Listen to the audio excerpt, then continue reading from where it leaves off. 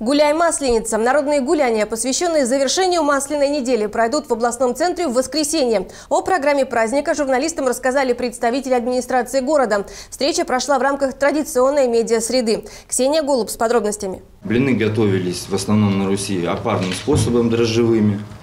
А, Причем трижды опара поднималась. Сегодня мы будем делать блинчики.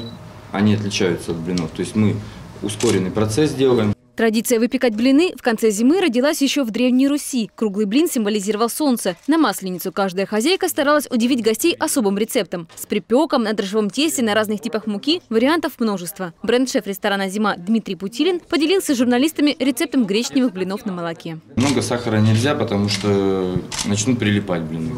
Когда мы замешаем тесто, в конце будет добавлено масло растительное. Оно при жарке как раз способствует образованию вот этой пористости. Дмитрий раскрыл некоторые секреты приготовления этого лакомства. Как выбрать сковороду, на каком масле печь блины, что сделать, чтобы блин не был комом. Также журналисты узнали, какая начинка подходит для главного блюда масленицы. Мясные блинчики с фаршем мясным. Опять-таки же, желательно мясной фарш делать, разбавлять с какими-то овощами. Как минимум с луком, с морковью.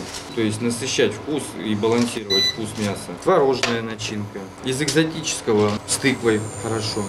Сейчас во многих кафе и ресторанах гостям предлагают угоститься блинами. На народных гуляниях, которые пройдут в ближайшее воскресенье, также можно будет попробовать это блюдо. По словам руководителя управления культуры города Людмилы Грековой, праздники пройдут на четырех площадках. В Центральном парке, Парке Победы, у Дома офицеров и в микрорайоне Крейда. Здесь белгородцев ожидает немало интересных сюрпризов.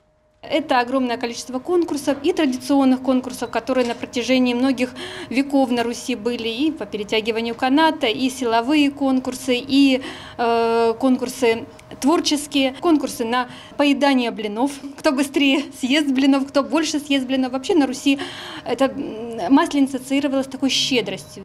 Всех жителей и гостей города приглашают принять участие в празднике. Народные гуляния на всех четырех площадках начнутся в полдень. Ксения Голуб, Сергей Драчев. К этому часу Белгород.